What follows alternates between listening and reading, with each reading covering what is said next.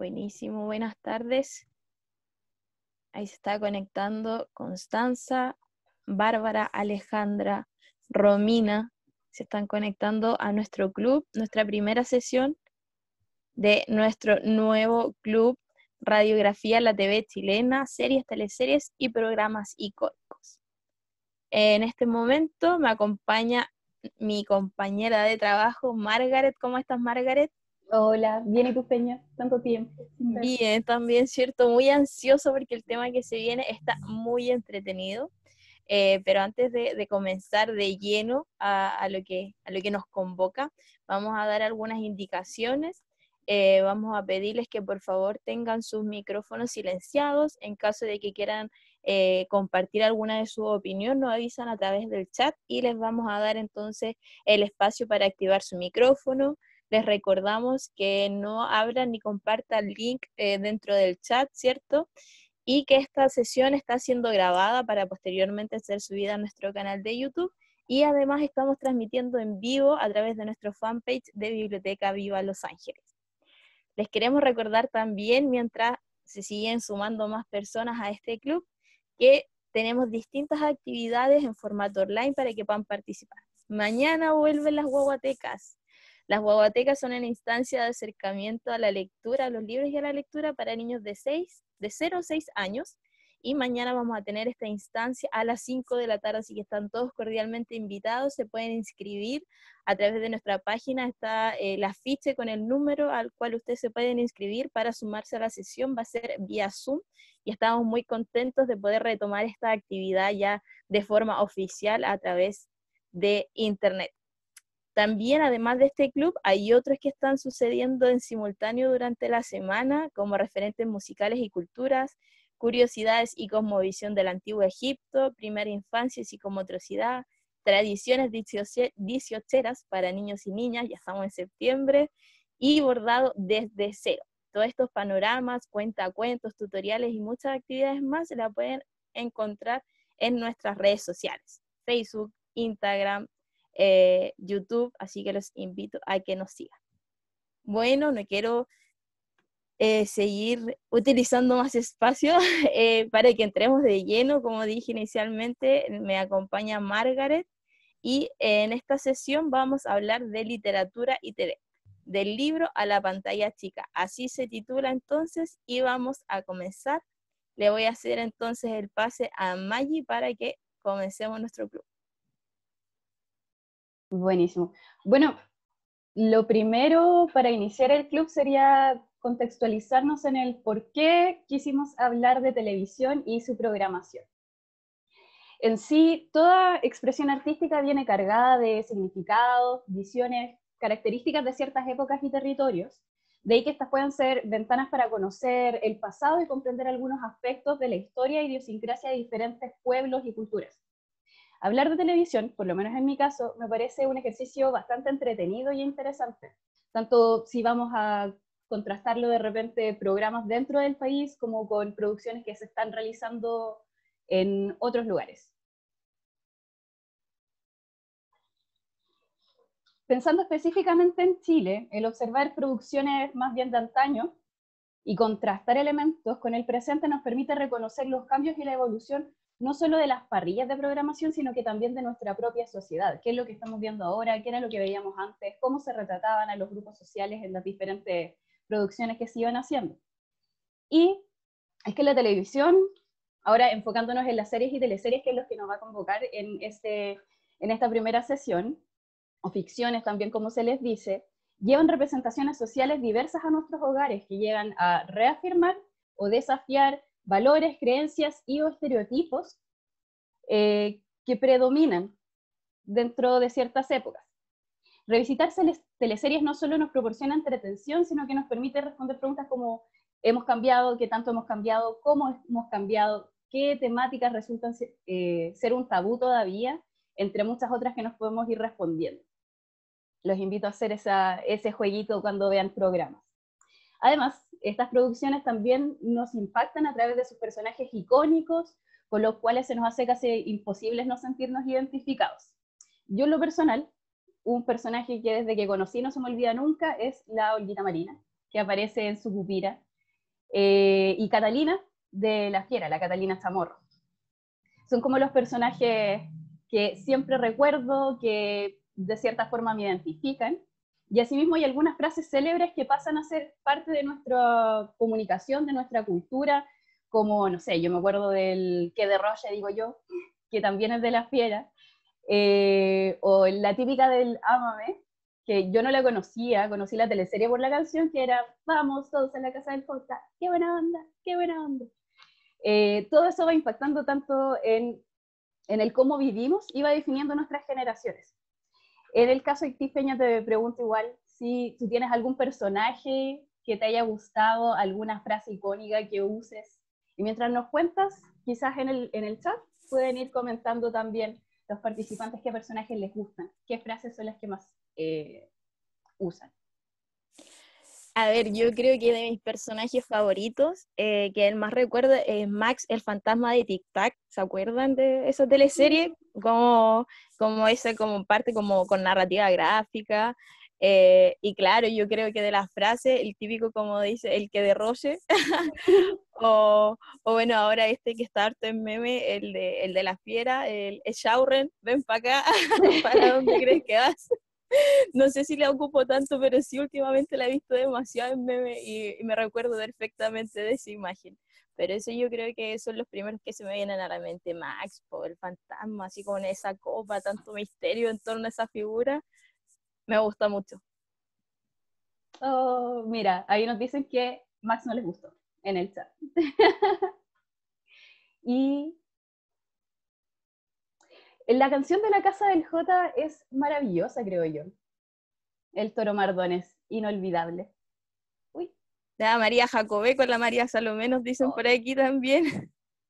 Sí, yo en general, mi... las teleseries con las que crecí son las teleseries de los años 90 en adelante, la denominada época dorada de las teleseries.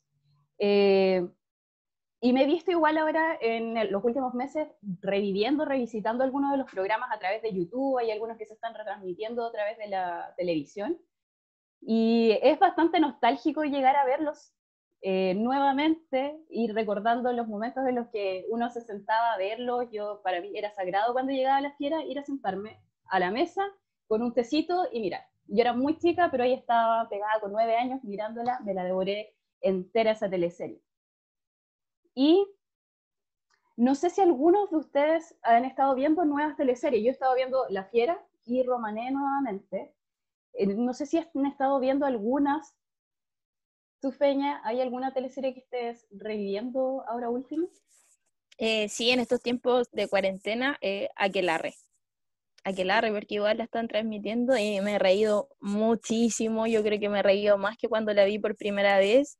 Eh, esa es la que estoy viendo ahora como chilena, porque también tenemos un boom también de teleseries extranjeras y también tengo ahí mi teleserie nocturna eh, que también estoy viendo. Oye, quiero comentar que el chat dentro de Zoom está que arde, como que dijimos cuál es su personaje favorito y pues nos han bombardeado con muchísimos DJ Katy, el Toro Mardones, por ahí Juan del Burro, el alcalde ese que también quería inaugurar el cementerio parece que, tocamos ahí algo dentro de nuestros participantes, Maggie, con, esa pregunta inicial, porque están on fire, como digo acá el chat. Así que esperamos que sea de su interés y que estén todo, todo este, eh, toda esta sesión así de, motivados.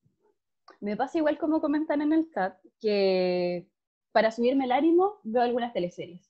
Su pupira es, o sea, volviendo a las teleseries de los 90, es una teleserie que a mí me sube mucho el ánimo, me río mucho y a pesar de que la he visto más de una vez, me vuelvo a reír. Hay algunos programas que uno los ve una vez, lo encuentra muy buenos, los vuelve a ver y ya no le gustan tanto, pero hay cierta producción de teleseries que ha logrado como calarnos hondo, que se ha hecho parte de nosotros, de repente los podemos mirar y encontrar de dónde vienen ciertos gestos que tenemos, que quizás se nos quedaron muy pegados, o ciertas formas de, de entender el mundo y cosas así. Pero como veo que ya varios están viendo nuevas teleseries, o sea, reviviendo teleseries, tanto chilenas como extranjeras, vamos a empezar por el principio, me parece.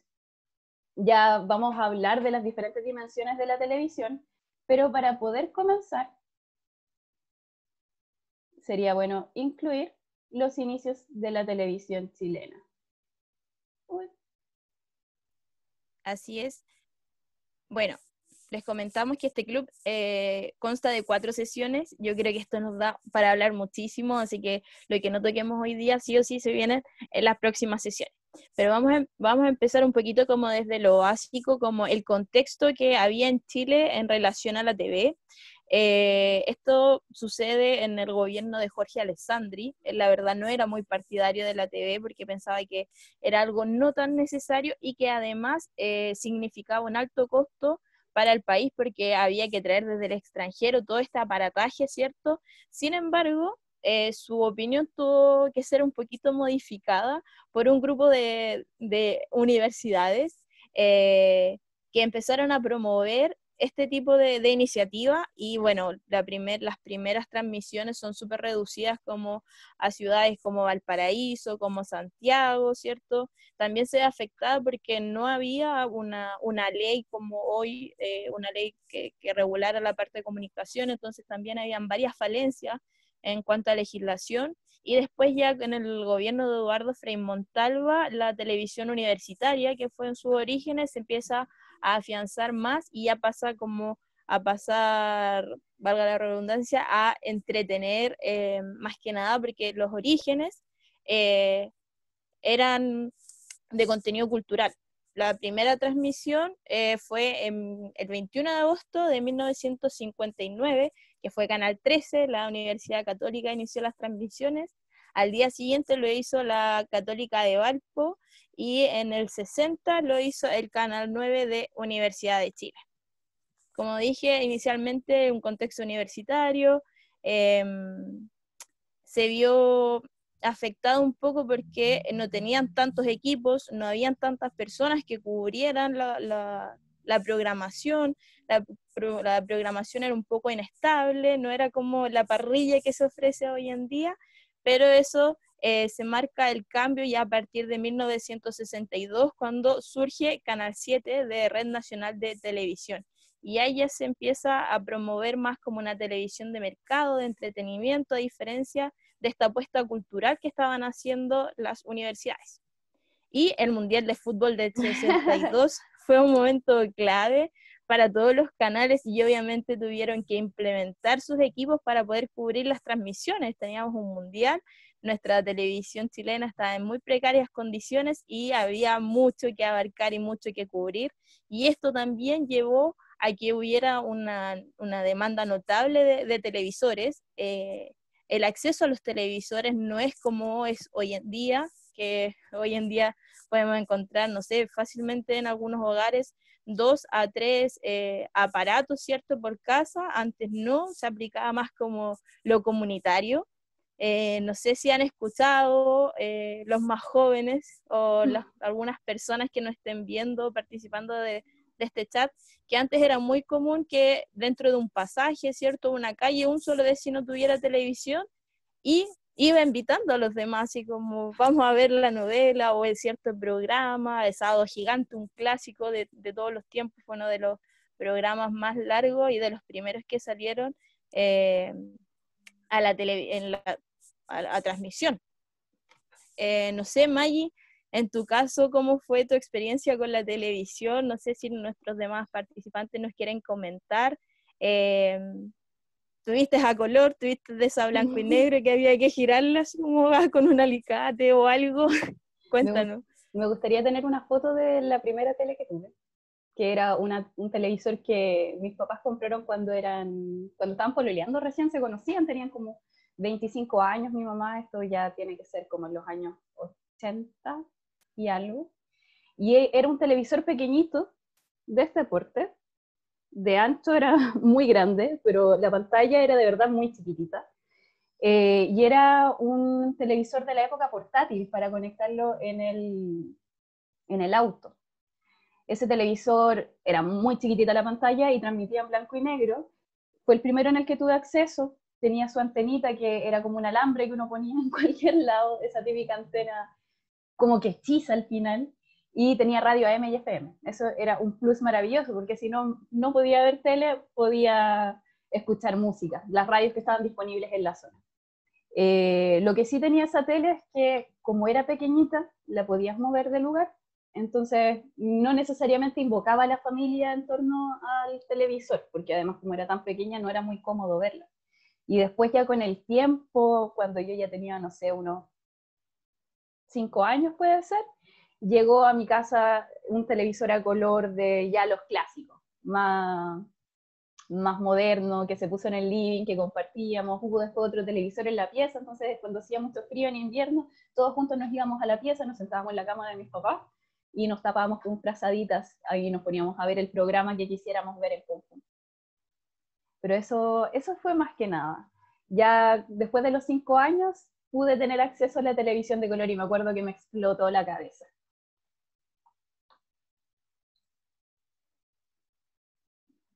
Muchas gracias, Maggie. Voy a leer algunos comentarios que hay acá en el chat.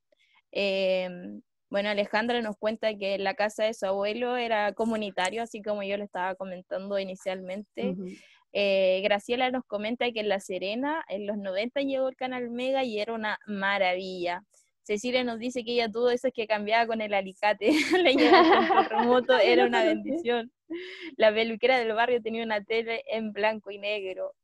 Bueno, yo me acuerdo que, eh, bueno, en mi caso tuvimos la primera blanco y negro, pero me acuerdo que mi abuelita tenía una a, color, pero había como que prenderla antes del programa. No sé si el programa que querías ver empezaba como a las 10 de la noche, había que prenderla como unos 10 minutos antes, como darle unos golpecitos como para que se fijara la imagen y se veía espectacular.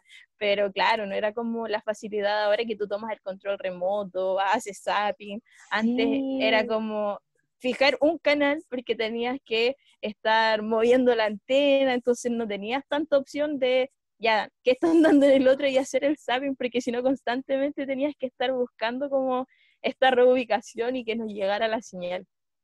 Sí, se me había olvidado el detalle del control remoto. Yo cuando llegó el control remoto, llegó mucho después de la tele, como cuando yo tenía, no sé, 12 años, y fue un cambio increíble el no tener que levantarte de la cama o de tu asiento para poder cambiar el canal. Fue maravilloso. Sí, bueno, y los primeros eran como bien básicos, yo me acuerdo del primer control remoto que tuvimos, era como bien, bien básico, así como unos par de botones como muy específicos, y bueno, yo, los de hoy en día tienen tantos que yo ocupo, creo que de lo todo tendrán unos 30, 25, 30, y de esos yo creo que con suerte ocupo 5 normalmente, y hay otros que no sé qué función cumplen, pero están ahí, y estoy segura que más de alguno de ustedes sabe qué función tienen esos botoncitos. pero bueno, entonces pasamos un poco como estaba diciendo, esto universitario, contenido cultural. Después estuvimos, eh, pasamos, ¿cierto?, a la parte como de entretenimiento y ahí es cuando empiezan a aparecer también las, las telenovelas, teleseries, culebrones y distintos nombres que adquieren estas producciones, ¿cierto? Y bueno, este es un género característico de los países eh, iberoamericanos. Eh, la, la, temática principal de ellos es como el romance, ¿cierto? Eh, la realidad sociocultural y religiosa estaba muy condicionada, eh, condicionada los ejes temáticos, los contenidos, ¿cierto? Eh, las historias también muy vinculadas como a, lo moral, a lo pecado, a lo pecaminoso, ¿cierto? Y el término de telenovela es el resultado de la fusión de tele, de televisión, y novela, ¿cierto? De este género literario. La primera serie que, de producción chilena que se pasa es en 1965, que es el Litre 4916, que era como muy comunitario, muy de junta de vecinos. Esa es la temática, es una serie que fue producida por la Sociedad Productora de Programas de Televisión Limitada y que, como dije, la transmitía Canal 3. Y la que se considera como la primera teleserie se llama Los Días Jóvenes, y que también es de Canal 13 y esa fue transmitida en el año 67. Esta, aquí hay una discrepancia porque algunos la consideran serie y otra teleserie o telenovela. Eh, algunos dicen que es la primera telenovela por el formato porque los capítulos tenían una duración de más de media hora y eran emitidos más de tres o cuatro veces a la semana. Eso es lo que hace que esta sea considerada como la primera teleserie, aunque claro, hay algunas que son como más, que marcan un antes y un después y que quizás se podrían eh, considerar como la teleserie. Ese es un poco el contexto, el panorama de cómo va surgiendo en la televisión en Chile.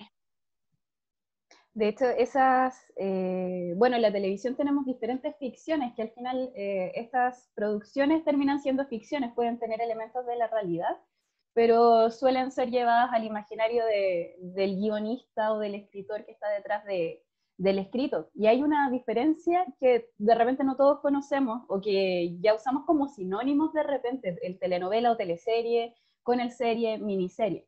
En el universo de las ficciones tenemos eh, desde los largometrajes o películas, cortometrajes, las telenovelas, las teleseries. Y la simple vista, uno de los detalles que podemos ver que diferencia la teleserie de la miniserie y de la serie, que vamos a comentar algunas que responden a estas tres categorías, es que la telenovela suele tener historias melodramáticas que exaltan los sentimientos de los personajes y suelen venir acompañadas de actuaciones que uno puede considerar exageradas de repente. Sería como la primera característica que uno puede identificar para reconocer una telenovela, mientras que las series o las miniseries se apegan un poco más a lo que es cinematográfico, un poco más a, a una actuación más realista, quizás, más que exagerada. Y las diferencias más técnicas, que era lo que tú ya comentabas, la duración de, los, eh, la duración de cada capítulo, la duración del, del programa en sí, como por ejemplo la telenovela no tiene una duración definida, definida en el tiempo, puede tener una larga si es que da para más, porque eh, cada capítulo va tomando el punto que se deja en el capítulo anterior. Entonces, básicamente es como una película que uno va fragmentando en capítulos y esta se puede ir extendiendo a lo largo del tiempo, mientras que las series y las miniseries, bueno, la serie tiene temporadas específicas y la miniserie viene a ser, eh, viene a tener un máximo de seis capítulos más o menos. También la periodicidad con la que se presentan, como decías tú, las teleseries o telenovelas suelen presentarse más de una vez a la semana, entre lunes y viernes por lo general, en diferentes horarios, vespertino, diurno y nocturno. Y las series vienen a presentarse de repente una vez a la semana, hay algunas que se presentan una vez al mes, dan mucho más espacio. Ahora, claro, con Netflix y otras plataformas, muchas series eh, se presentan todos los capítulos juntos y el mismo televidente es el que va definiendo el ritmo con el que va viendo cada capítulo, que de repente no es tan bueno. y hoy día entonces vamos a dejar el foco en telenovelas o teleseries, series y miniseries chilenas que han estado basadas en libros, basadas o inspiradas en obras literarias. Uno de los aspectos o beneficios más claros que tiene el presentar adaptaciones televisivas de obras literarias dentro de la televisión, claro, valga la redundancia, es que fomenta la promoción de la lectura y de los autores. El tener una teleserie, una serie, una miniserie bien hecha en la televisión, con la que te enganchas y que después saber que eso viene de un libro, te dan las ganas de, leerlas y ya estás enganchado. Yo no sé si a ti te ha pasado alguna vez con alguna adaptación, a mí me pasa con las películas, mucho. Con las teleseries eh, es algo que he ido descubriendo a lo largo del tiempo con las películas de un principio, con las teleseries lo he ido adaptando. Y bueno, en el origen de las teleseries y telenovelas latinoamericanas podemos ver una gran presencia de escritores y novelistas en el desarrollo de guiones en un inicio. En los años 70 el desarrollo de, de programas estaba más relacionado al de las series y luego se fue fomentando más el desarrollo de las telenovelas. Y veremos como algunas obras literarias que, actual forman, que actualmente forman parte del Plan Lector Escolar Nacional fueron llevadas a la pantalla chica durante los años 70 y 80. Ese fue un detalle que yo no conocía y que da cuenta precisamente de lo que tú comentabas, Peña, que era que en un inicio había un enfoque más cultural hacia un acercamiento más cultural a la televisión, que fue cambiando a medida que se iba abriendo al mercado y el consumo de masas. Actualmente, como para comentar, Se espera que una producción alcance un rating o cuota de pantalla entre unos 15 a 20 puntos en promedio y eso es como bien.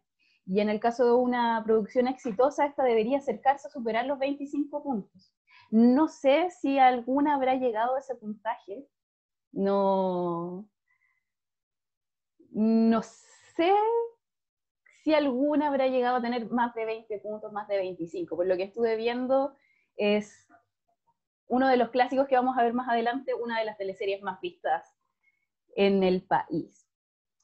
Y bueno, pensando ya directamente en las adaptaciones televisivas, tenemos diferentes formas de pensar o de decir si esta nos gusta o no nos gusta, si esta es buena o no es buena. Lo primero son las apreciaciones personales. ¿Nos gustó no nos gustó? ¿Por qué y por qué no? Es un ejercicio muy entretenido el poder ir eh, revisando por qué te gustan para reconocer los elementos que vas a buscar en otras producciones para de repente no poner algo que no te va a gustar. Pero también pueden variar de las apreciaciones personales a elementos más formales, digamos, como aspectos teatrales que van desde lo escenográfico, que considera desde la construcción de la narrativa y la calidad de los guiones, eh, la construcción y el abordaje de los personajes, cómo se presentan sus características, la profundidad de cada uno, cómo son interpretados, las peculiaridades e historias personales de cada uno, el vestuario y el maquillaje, el ambiente físico que ya incluye la decoración, la iluminación, el uso de algunos colores y la creación de las atmósferas a través de estos. Entonces de repente uno le puede gustar algo y estéticamente o de una forma más crítica puede no ser bueno, pero a uno igual le gusta. Y como comentábamos al inicio de la sesión, también es importante saber cómo abordan ciertas temáticas, cómo muestran ciertos lugares, cómo representan a los personajes, eh, cómo los retratan dentro igual de la época en cuestión. Y bueno, ya dicho esto, vamos a pasar a algunas adaptaciones televisivas de algunos clásicos que yo en realidad no sabía que habían sido llevados a la televisión. Vamos a viajar en el tiempo a los años 60, fines de los 60, y nos vamos a encontrar con dos obras, una de las cuales ya nos mencionaban dentro del chat. No sé si tú quieres comentar primero o comienzo yo. Sí, comenzamos con Martín Rivas, un clásico. Ahí nos están diciendo también que la vieron. Bueno, de esta eh, existen tres adaptaciones. Este está basado en la novela eh, del chileno Alberto Lesgana, que fue publicada en 1862. La primera versión fue eh, fue transmitida en el año 70 en una versión blanco y negro con una adaptación de Sergio Rielsenberg. Espero haber pronunciado bien, si no me pueden corregir ahí, eh, donde retrata la historia de este joven, cierto, empobrecido, que tiene que trasladarse desde el norte de Chile a estudiar a Santiago, ¿cierto? Donde es de una baja condición económica y se queda en la casa de don Damaso Encina. ¿Cierto? Ahí conoce a la hija de Don Damaso, a Leonor.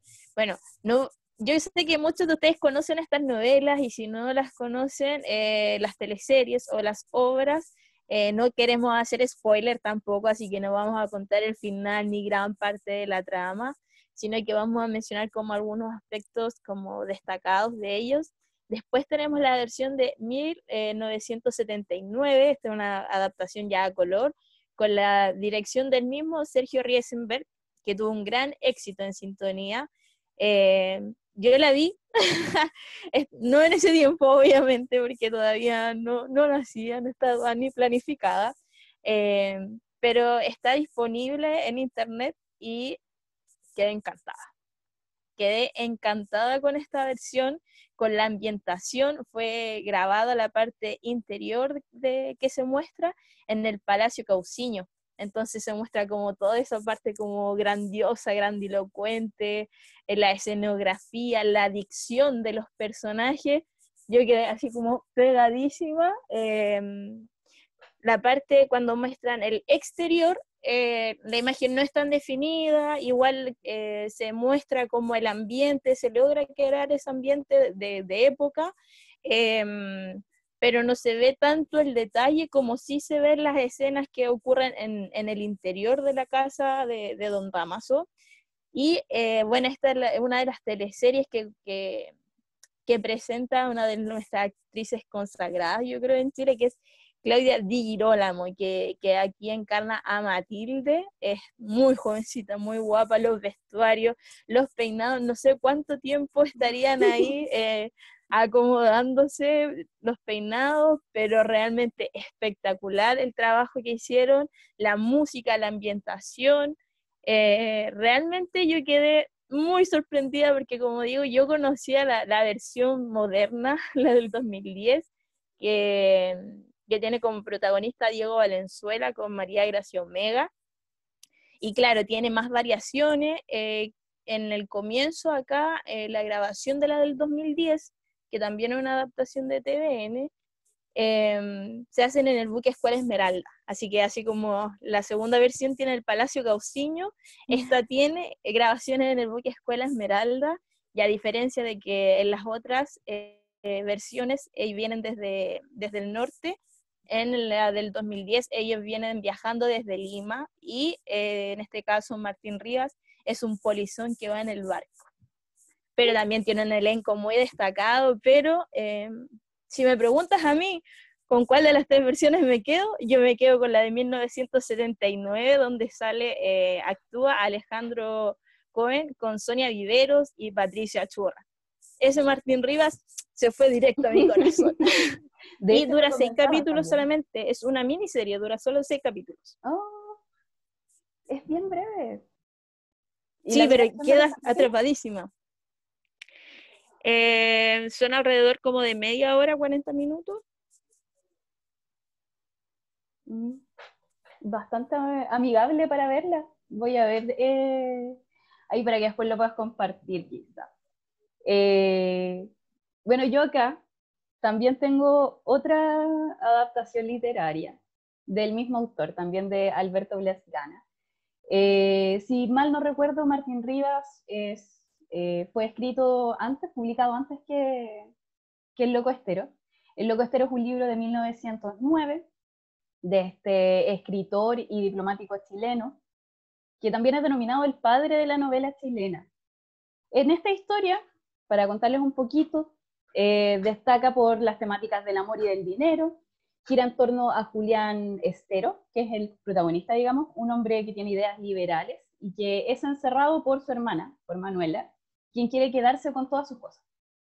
Esa es la premisa básica del libro. La trama puede parecer sencilla en un principio, pero se va complejizando a medida que se van conociendo los personajes y sus trasfondos. No les voy a comentar nada más para que puedan leer el libro, verlo. Ambos de estos libros son parte eh, del plan lector de escolar chileno actual. De hecho, en la biblioteca son libros que se piden harto por lo mismo. La adaptación ha sido adaptada una vez, o una y media me parece, pero la primera adaptación televisiva estuvo a cargo de Elvio Soto y fue realizada para Canal 3 en el año 1968. Eh, como comentaban en el chat, muchos de los registros de las telenovelas chilenas de los años 60 y 70 no existen. Eh, empezamos a encontrar algunas de ya más cercanos a los 80. No se sabe muy bien las razones porque yo intenté buscar mucho, encontrar algo, pero no hay mm, casi nada de información. Lo que sí sabemos es que fue protagonizada por renombradas actrices y actores de la época, como Nelson Villagra, quien después pasaría a la pantalla grande de mano del de, eh, cineasta chileno Raúl Ruiz y Miguel Litín. Miguel Litín yo creo que tú lo conoces, que dirigió El Chacal de Nahuel Toro. De hecho, este mismo actor participa en El Chacal de Nahuel Toro. Mario Montillés, Yoya Martínez, que yo creo que Yoya Martínez les puede sonar, nos puede sonar a todos, que ella era la señora Hildita de Los Venegas. Eh, Violeta Vidaurre, quien también participaría en la adaptación de Martín Rivas entre otros actores y actrices. En el año 2010 se presentó como proyecto bicentenario una nueva adaptación eh, de mano de Francisca Fuensalida. Había un trailer, se habían eh, estado buscando fondos, para crear esta miniserie de cuatro capítulos con un elenco compuesto por Jaime Omeñaca, Emiliano Noguera, Diego Casanueva y Tomás Verdejo, que es parte del elenco de los 80. Pero no estoy segura, creo que no llegó a ser realizada al final. No sé si tú has tenido tiempo de verla, de encontrarla. Yo me encontré con varias cosillas, pero no con una nueva adaptación. No, la verdad, eh, esa específicamente no. Em, sí, por ejemplo, los actores que mencionas son, son muy conocidos, son como de, de, las nueva, de la nueva oleada o tercera oleada de, actores más famosos.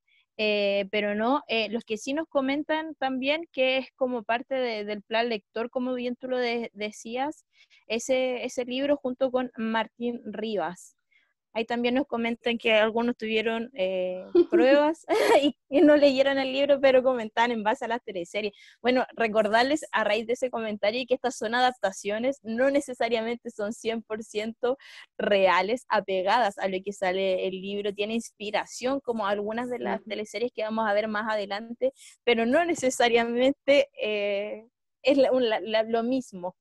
A diferencia, no sé, de algunas como las películas que quizás se puede parecer un poco más, pero eh, hay otras que no. Pero a mí me da la impresión, como dice Graciela, que eh, Martín Rivas, la, segunda versión, sí se parece bastante con el libro, como describen a los personajes, cómo se muestran en esta miniserie, yo creo que, que sí, en ese caso, pero tampoco es 100%, como digo, hay que recordar que esto tiene mucho también de ficción ahí son adaptaciones. Es una interpretación que hacen tanto los guionistas como el director y los mismos actores y actrices que pueden darle más énfasis a algunas cosas que lo que uno mismo le da cuando lee el libro.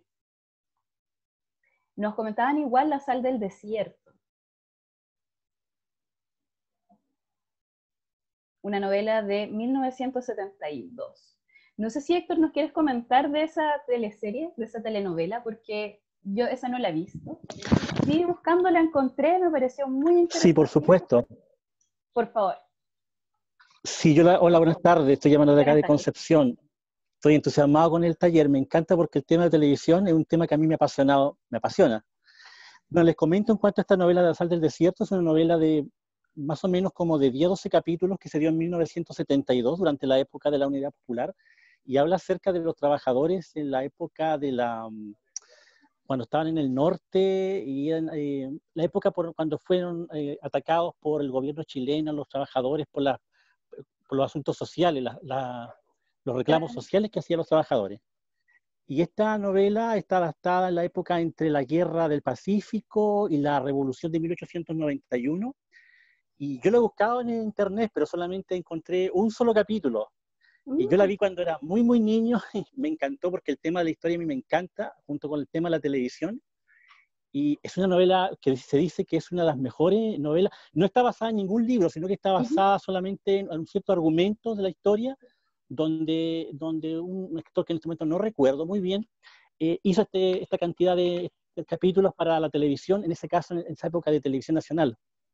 Mm de TVN, qué interesante. Es muy, muy interesante el hecho de que los cruces que, podemos, los cruces que podemos hacer entre la ficción de las teleseries y la realidad misma. Lo que es la historia es... Ojalá que haya más capítulos, porque yo igual la dejé anotada, aparecía la busqué, muy La busqué, no la, no la encontré, encontré solamente una, encontré un capítulo de como de 30 minutos y otras pequeñas cosas de como de 0,5 0,5 segundos, una cosa así, porque lo que, pasa, lo que pasa es que, les, no sé si les comento, pero eh, estas novelas junto con una estación también de, de, la historia de Manuel Rodríguez, que, eh, cuyo protagonista era eh, Eduardo Yáñez, el, el, cantautor, el músico chileno de música folclórica, eran novelas más o menos de la época de la unidad popular. Entonces, cuando hubo el golpe, aparte que muchos de estos capítulos no se grababan, y toda la, toda la producción chilena fue destruida, porque muchos actores eran como íconos de la unidad popular, y lo que se trató de hacer con el golpe es tratar de eliminar cualquier programa que recordara eh, programas íconos de esa época. Claro. Entonces, prácticamente destruyó casi todo el material que TVN tenía. quedó muy poquito. De hecho, creo que hay un, hay un documental donde una funcionaria de TVN dice que vio que estaban quemando estos registros y ella trató de salvar algunas cosas. Entonces yo creo que por ahí algunas cosas quedaron, pero la mayoría se perdió. Claro, es un hecho que ha pasado en varios eh, territorios alrededor del mundo que se pierden registros eh, debido a diferentes razones. A nosotros nos tocaron algunas, en otros lugares hay otras. Muchas gracias, Héctor, por compartirnos esta, esta teleserie. De verdad, muy interesante el poder eh, encontrar registros antiguos. Me encantaría poder verla, poder conocerla, en especial sabiendo la calidad técnica que tiene. Vamos a seguir avanzando. Tenemos acá dos ejemplos. Eh, no sé si sabían, pero Aquelarre, que ya había salido mencionada anteriormente, está em, basado, tiene influencias de la casa de Bernarda Alba, esta, esta obra de, de Federico García Lorca, ¿cierto? Y en este caso, esta, esta teleserie fue producida en el año 99 bajo la dirección de María Eugenia Rencorret, Rencorret ¿sí? Eh, pero eh, fue escrita y, eh, y, colaboraron también aquí Hugo Morales, Fernando Aragón y nuestra querida Nona Fernández. Esta tiene como protagonistas a Álvaro Rudolfi con Sigrid Alegría, que los vemos ahí, y claro, muestra una parte de, del realismo, ¿cierto?, del campo chileno también, hay un poco de folclorización de algunos personajes, pero también tiene personajes que son entrañables, yo creo, y que no sé, que se nos vienen fácilmente a la mente, eh, sobre todo ahora que la están como retransmitiendo, ¿cierto? Y que tiene este, este misterio de por qué en este pueblo solamente nacen mujeres, más de 30 años en que solamente nacen mujeres.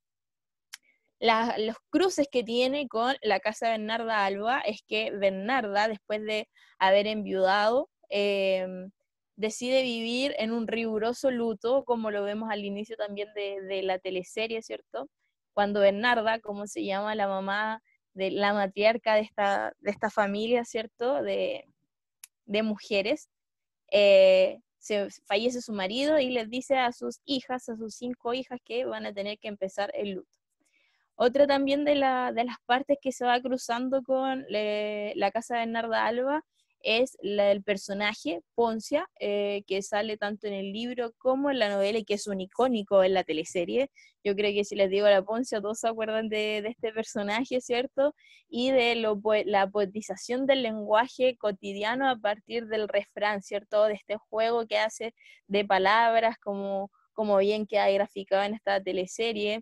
La aparición de ciertos personajes como Pepe Romano, que sale mencionado tanto en el libro como en la teleserie, y algunos temas que son tratados como la parte de la hermandad y de la envidia, como es el caso, por ejemplo, de, Eduarda, que está protagonizada por Claudia Burr, donde constantemente está peleando con Rodolfa, que es Patricia Neira, donde le grita, pelean por todo y siempre le dice, lo que pasa es que tú me tienes envidia, entonces ese concepto de envidia que está muy marcado en la casa de Bernarda Alba en esta obra de teatro, está también muy presente dentro de Aquelarre.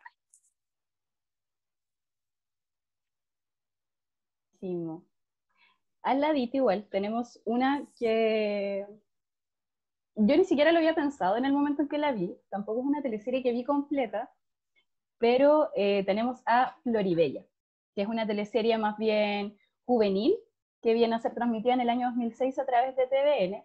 La dejamos acá más que nada, bueno, además de estar basada en la historia de la Cenicienta, porque tiene una energía muy especial, está dirigida a públicos más jóvenes, es más dinámica, de hecho, eh, esta teleserie, después de ser transmitida, fueron, publicaron varios discos basándose en las canciones que ellos utilizaban, y tuvo un impacto en la moda de la época. Hubieron ciertas tendencias eh, de ropa, de estilo, que devinieron de esta teleserie, eh, en especial dentro de los jóvenes y algunos niños. Floribella es una teleserie que también está basada, bueno, es una adaptación de una adaptación, porque la industria de las teleseries también ha generado la exportación de guiones. Entonces, en este caso tenemos un ejemplo de una adaptación de La Cenicienta, que nosotros conocemos más por las adaptaciones que hizo, por la recopilación que hizo Charles Perrault o los hermanos Grimm en los años 1800 más o menos, y que ahora la tenemos en un formato completamente nuevo, donde tenemos a una chica de 20 años que es muy optimista, que tiene mucho carisma y que pasa por diferentes situaciones eh, sin perder eh, su energía, digamos. Esta teleserie lo que a mí me agradó es precisamente la energía que tiene, las actuaciones son características del género y es una de las actuaciones más famosas que ha tenido Mariana Derderian, que hacía precisamente de Floribella en, este, en esta teleserie. Además, esta eh, adaptación estuvo a cargo de Pablo Llanes, que es un destacado escritor y guionista chileno.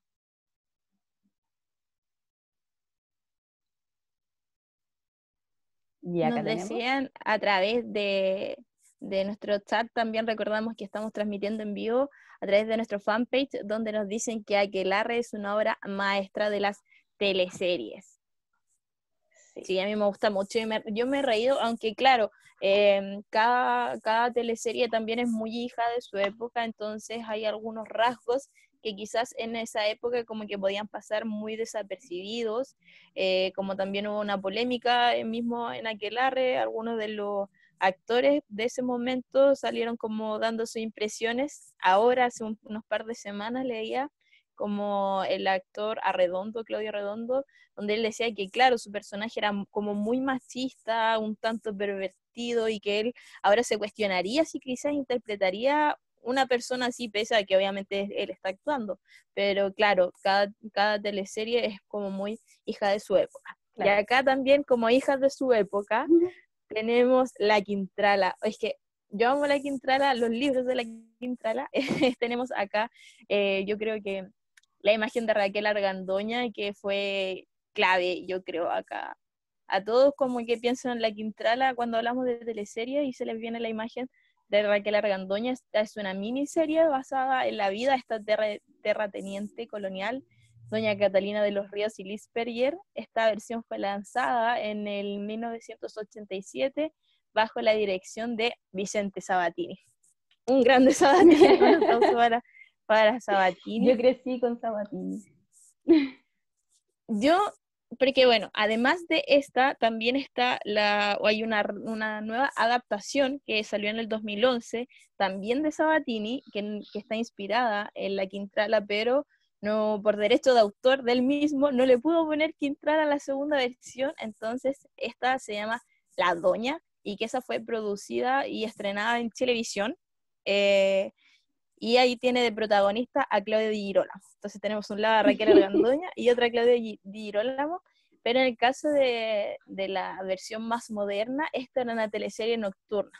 Entonces eh, se muestran como escenas como un tanto como más violentas, eh, de connotación sexual, porque también hay una evolución también de las producciones que ya no solamente van en el día, sino que ahora eh, después de las 10 pueden haber horario para mayores de edad, entonces ahí es donde está la doña. Eh, yo vi la Quintrala, eh, no la había visto la, la miniserie de, Raquel Argandoña, donde ella sale como protagonista.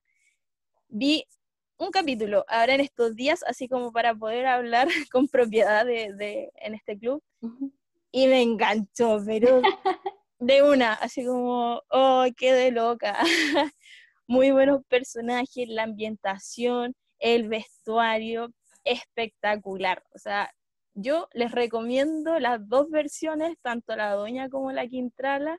En la primera eh, son solo 10 capítulos de duración, en esta está inspirada como cuando la Quintrala tiene em, alrededor de 20 años, es como la parte central, pero muestran desde la historia de su mamá hasta cuando fallece la, la Quintrala, está más, eh, a diferencia de la doña, sigue más esa parte de la historia, em, de, de, la parte de, de, los brujos, de la que de eso, de estas reuniones, ¿cierto?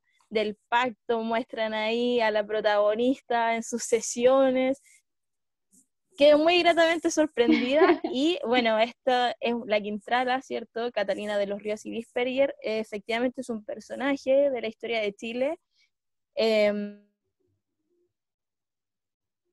como dije, una de las más poderosas dentro de la historia, yo creo que ahora eh, se le está dando realce como verdadero a su figura. Antes como que se le, se le tachaba mucho de que era la mujer bruja, maltrataba a los esclavos, pero imagínate, en ese tiempo, ¿cachai? Estamos hablando de esos años, la aristocracia del siglo XVII aproximadamente, y donde la mujer prácticamente era como la más poderosa del reino de Chile una mujer y no un hombre en esos tiempos lo que significaba. Entonces, yo creo que también está cargada con, con un poco de, injusticia machista de la época, aparte de esa historia, y también está este Cristo, esta imagen, que cuando dicen que si le mueven la, corona de espinas, hay terremoto en, en, Chile.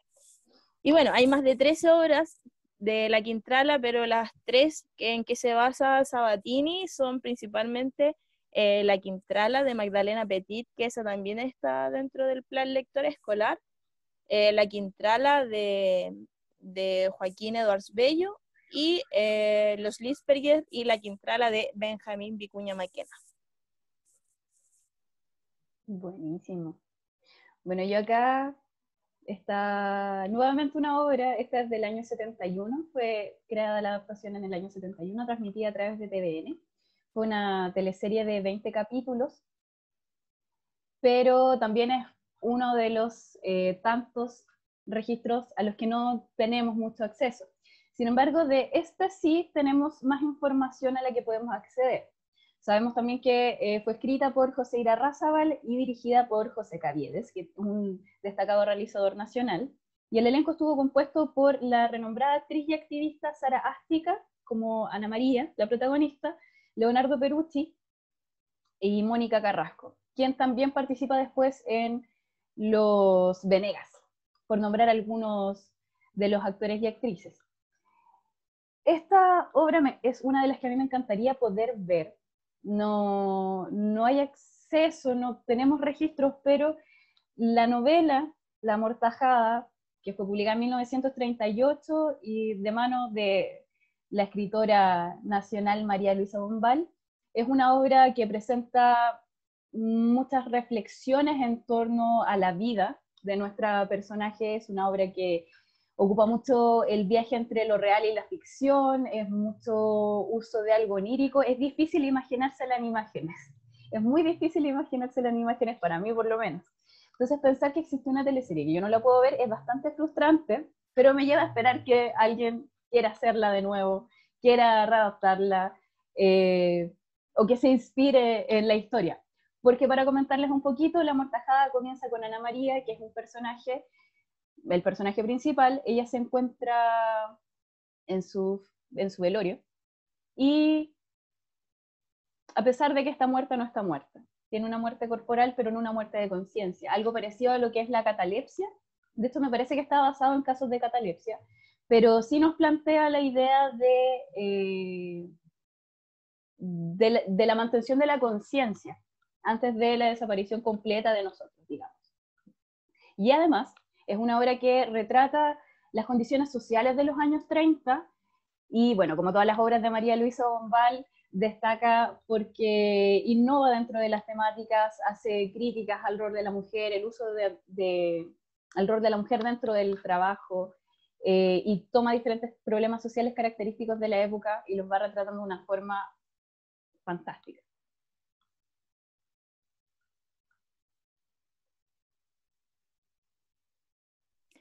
Súper, vamos a seguir avanzando entonces.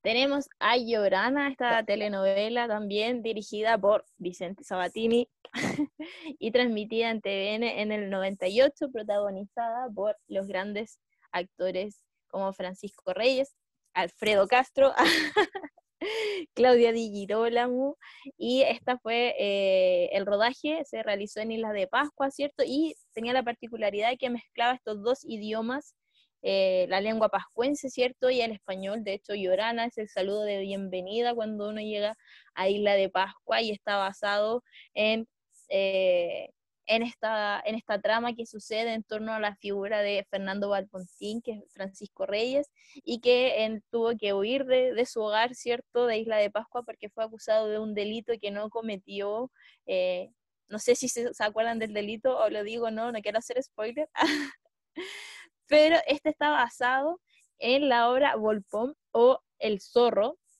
del dramaturgo, poeta y actor inglés Ben Jonson y fue producida en 1606.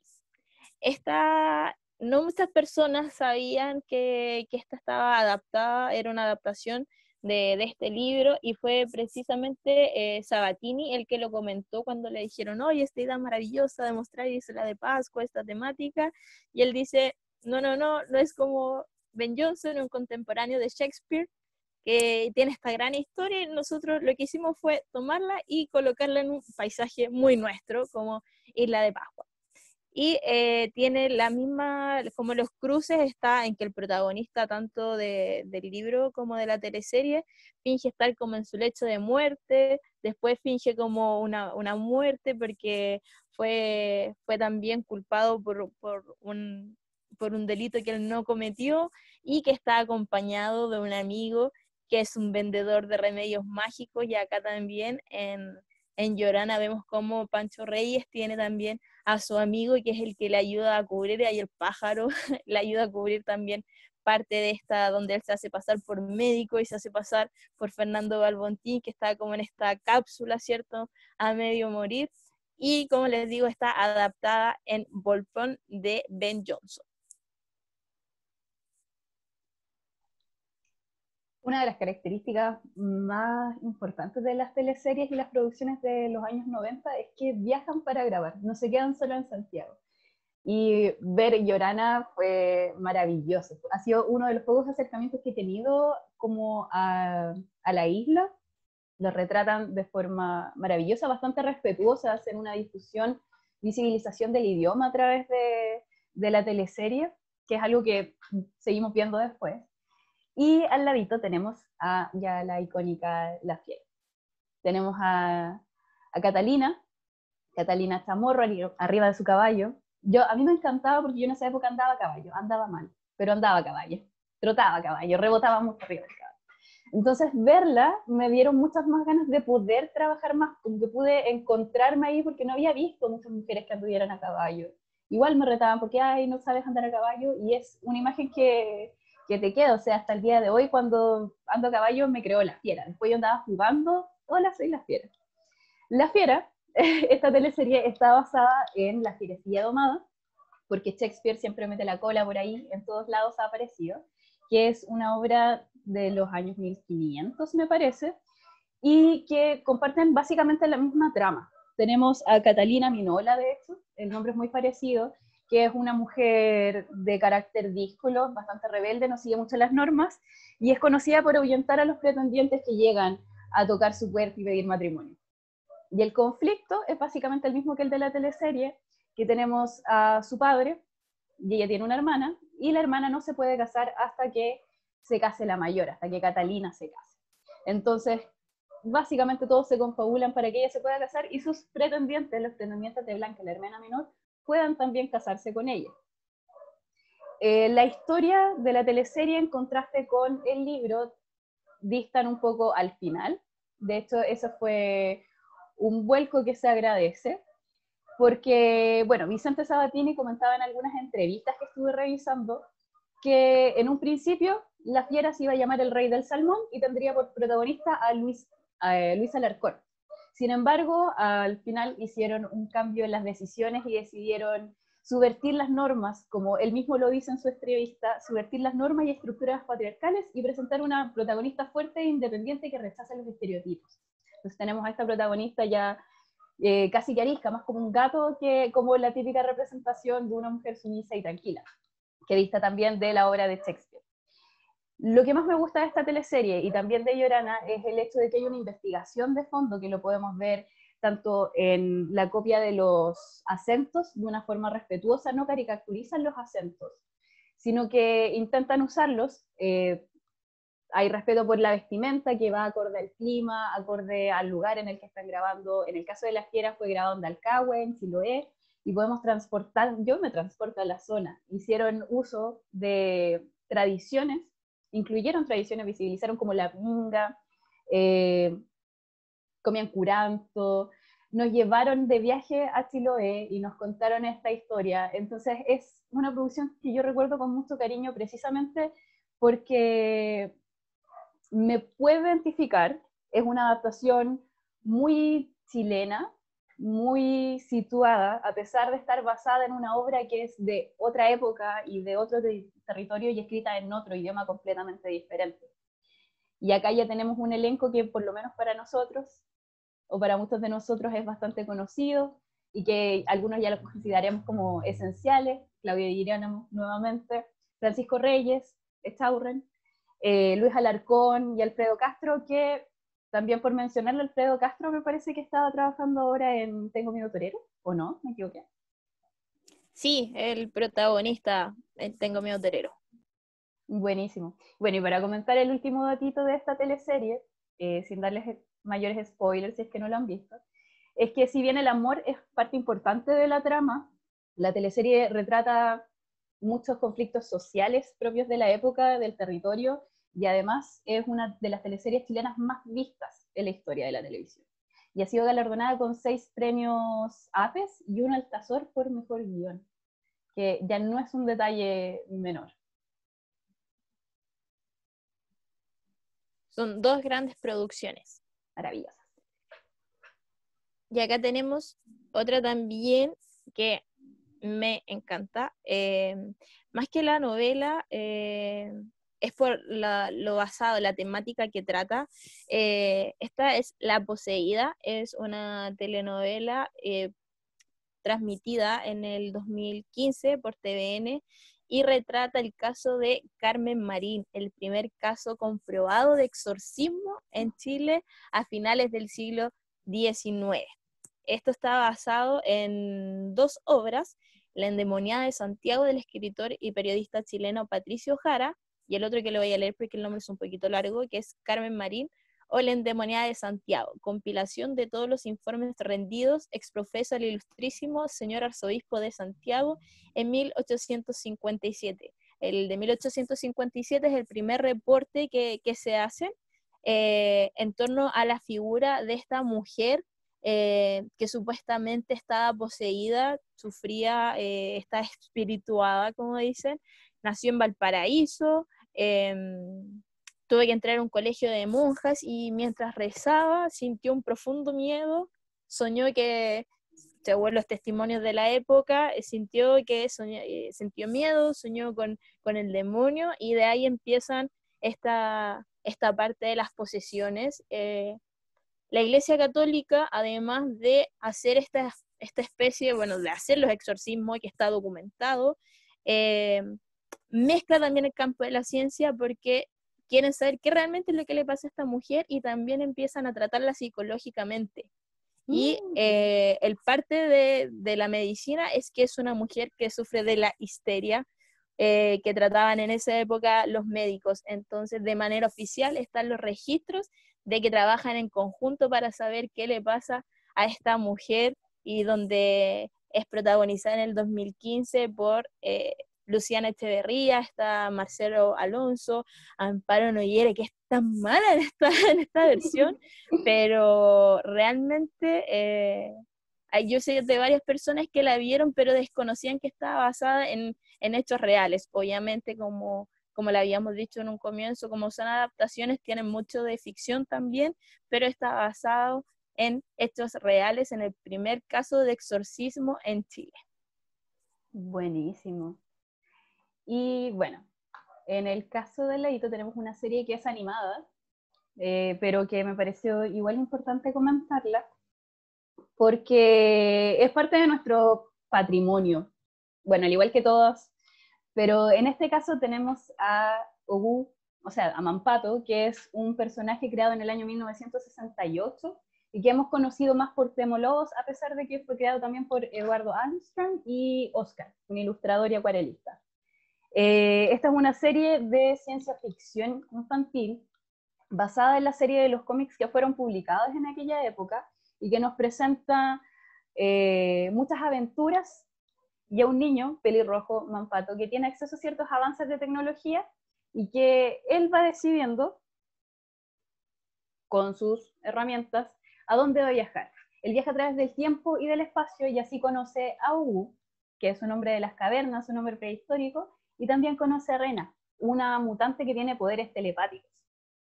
Hubo una adaptación que se llevó a cabo en el año 2018, gracias a, me parece que, bueno, no recuerdo bien los nombres de los desarrolladores, pero si se fijan, las ilustraciones distan un poco del original. De hecho, también hay una película que se hizo en el año 2002, Women Patton Rapa Nui, eh, y el tipo de ilustración cambia bastante, es mucho más, eh, son mucho más suavizados, mucho más tipo Bratz, algunos tipos de ilustraciones, los ojos, como los vemos, pero en esta adaptación lo que mantuvieron de la esencia original es la música. A través de la música que fue desarrollada eh, por Alexis Ortega, en especial para esta serie, mantienen un poco el espíritu de la época original en la que fue publicada, que viene a ser más o menos los años 70. Me parece que están varios de los capítulos en internet, si quisieran verlos, compartirlos de repente en familia. Y la primera temporada se basa en diferentes aventuras.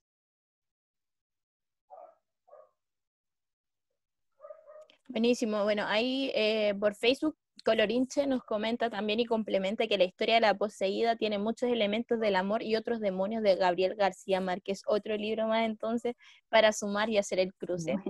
Y em, tenemos aquí una miniserie eh, que es Samudio Perdidos en la Noche.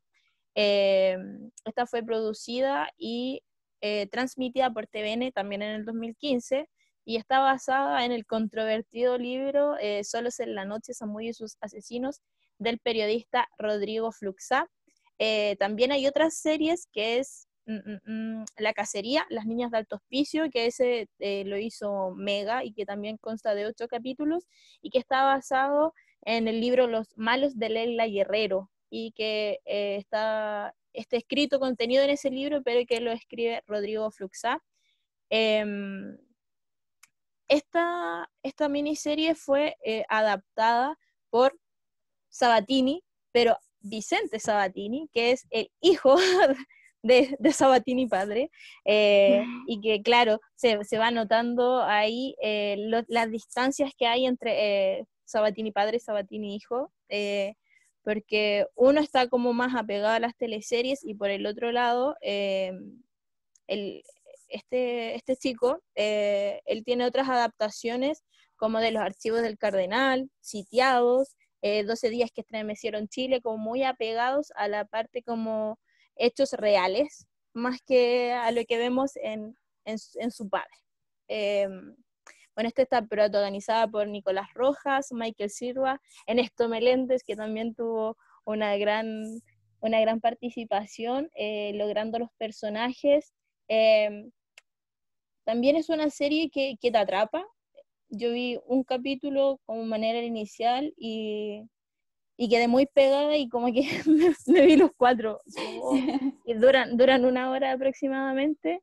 Eh, y rescata bastante del, del, libro, de la investigación que hace Rodrigo Fluxa, pero se detiene más en como en los hechos desconocidos de la vida de Daniel Zamudio, más que lo que todos sabemos como por lo que ha salido en los medios de prensa, ¿cierto? La cobertura, que es como la agresión y esa parte más dura, muy descriptiva, que, que hace muy seria, que es la investigación de Rodrigo Fluxá, pero acá se centra como en la parte más desconocida, como en la relación que tiene con su hermana, lo, uno de los romances más formales que también tuvo Daniel, de acuerdo a la investigación de, de Fluxá, y se enfoca como más que nada en eso.